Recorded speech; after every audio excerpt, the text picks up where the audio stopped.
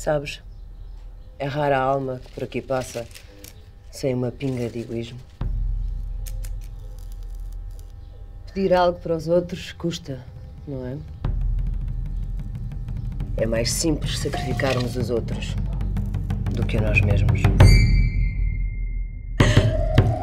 Matilda!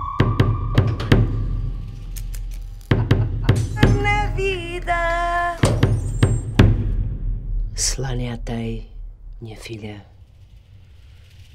queres mesmo continuar?